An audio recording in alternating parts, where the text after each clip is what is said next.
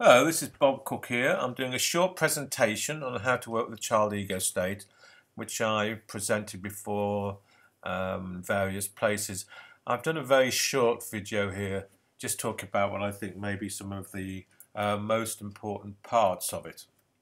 Okay, the major methods to work with the child ego state, that means to get to the past script decisions and look at how uh, the connections between the past and the present have been lost, and uh, specifically looking at how the child ego state is the historical um, ego state when looking at um, fixated stuck deficits and uh, how the person sabotages themselves being in adult, that means in the here and now.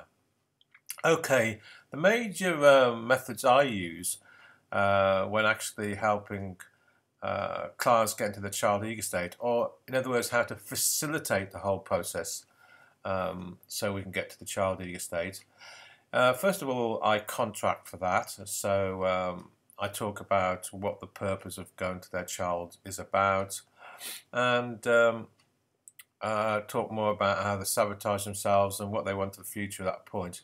But the major three ways that I use come from Erskine's ideas Erskine's methodology from integrative psychotherapy.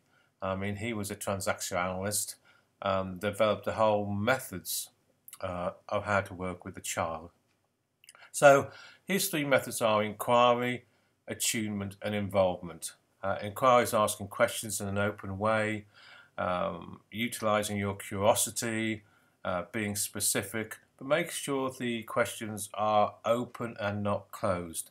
Open means exploring, um, not closing down, not demanding a yes or no answer, but actually exploring gently with the client through their different developmental ages.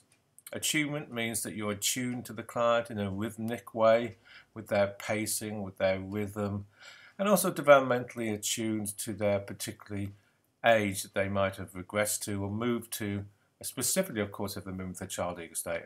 And of course, you need to be involved, you need to be actually uh, with the client. Of course, if you're attuned to the client, then you will be involved by definition. Okay, so the major three methodologies of getting to the child ego state is inquiry, attunement, and involvement, according to Richard Erskine. Okay, so now let's move to how come you're going to the child ego state.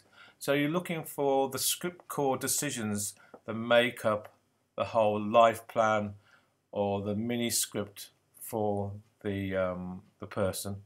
You're looking particularly for how the past, present enactments are created and how they enact their child ego state, their unconscious, in a way that's not useful for them in the present day. In other words, sabotaging their chance to um, uh, be healthy in terms of decisions uh, and not stuck in some child unhelpful way of looking at the world. Um, of course, by asking and inviting them into their childhood state, you're helping them increase awareness of different parts of themselves and how they might be stuck in the past rather than the present. You're helping them make new decisions, new redecisions, to let go of the old sabotages, and finally to help them anchor in the present, the new decisions. And what's most important here, that you're helping them actually be able to stay an adult and to utilize their child, and adult and parent ego states in the service of integration. Okay, hope that was useful to you and uh, speak to you soon. Bye bye.